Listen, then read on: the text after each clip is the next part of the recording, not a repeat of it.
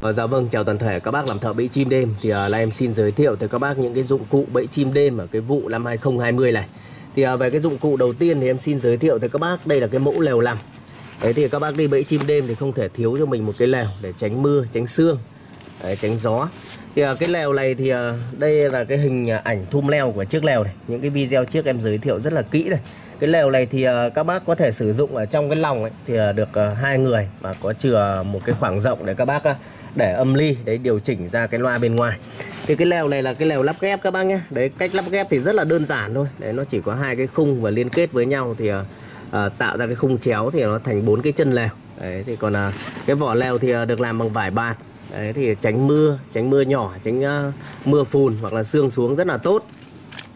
Và cái lèo này giá cả của nó thì cũng rất là rẻ thôi. Đấy hơn 300 ngàn đồng là các bác có thể sử dụng được một cái mẫu lèo như thế này. Rất là tiện lợi. Khi sử dụng xong thì gập gói gọn vào một cái túi như thế này. Đấy, rất là đơn giản. Đây là về cái sản phẩm đầu tiên à, về cái sản phẩm tiếp theo thì em xin uh, giới thiệu tới các bác là những cái uh, mẫu lưới. Mẫu lưới bẫy chim đêm từ mắt 4 phân cho tới uh, mắt 8 phân. Em để trên kia. Và bây giờ thì em sẽ lên quay cái mẫu lưới cho các bác cùng xem. Ở đây là cái kho để chứa cái mẫu lưới bẫy chim đêm này các bác này. Thì ở đây là có những cái lưới mắt từ nhỏ cho tới mắt lớn. Đấy đảm bảo cho các bác là khi các bác cần bẫy cái con chim gì thì ở bên em luôn luôn đáp ứng kịp thời để gửi tới tay cho các bác tất cả những cái mẫu lưới bên nhà em ấy thì đều được làm bằng cước thái nha các bác nhé. Đấy cước thái rất là bền bỉ. Đấy chịu sương chịu mưa chịu nắng. Các bác đánh nhiều năm thì lưới nó sẽ không bị ải. À, đây là cái tay lưới mắt 7 phân này. Mắt 7 phân thì nó chỉ là sợi 18 thôi các bác nhé. Đấy 5 giường 4 túi. Ờ, à, 50 mét thì là chia cho các bác là ờ, à, 3 cọc 100 mét là 5 cọc. Đấy, rất là tiện lợi.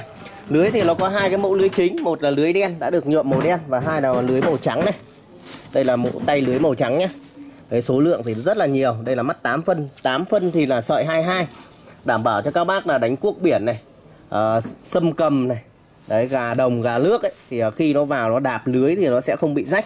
Và những cái mẫu lưới bé hơn ví dụ như là mắt uh, 4 ờ, phân 4 phân 6 đấy đánh những cái con chim rẽ run ấy, thì uh, nó ở khu bên dưới đây này rất là nhiều. Đấy các bác đánh chim đêm thì uh, cần tay lưới như thế nào thì ở bên em đều có để gửi cho các bác.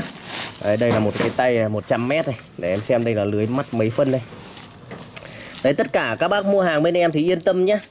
Đấy thì à, lưới thì à, khi bên em đóng ấy, thì ở đây là đã có đo phân đo mét hết rồi. Các bác yên tâm là nó sẽ không bị sai lệch hoặc là gửi nhầm hàng. Đây là tay lưới mắt 8 phân này. Đấy, sợi 22 này 5 giường 4 túi này. Đấy, 5 cọc. Đấy, thắt uh, chống gió cho các bác rồi về các bác chỉ việc sắm cho mình thêm vài cây xào nữa là các bác có thể sử dụng đi đánh chim được thôi. Đấy, toàn bộ là đây là những cái sản phẩm uh, dụng cụ em giới thiệu cho các bác ở cái video lần này. Đấy bác nào mà cập nhật được cái video này muốn nó sắm cho mình một cái lều bẫy chim đêm hoặc là một cái tay lưới hoặc là những cái chiếc âm ly hoặc là những cái chiếc loa thì liên hệ trực tiếp cho em để được uh, biết uh, chi tiết thêm về cái giá cả về cái cách sử dụng của từng cái uh, dụng cụ để bẫy cái con chim gì.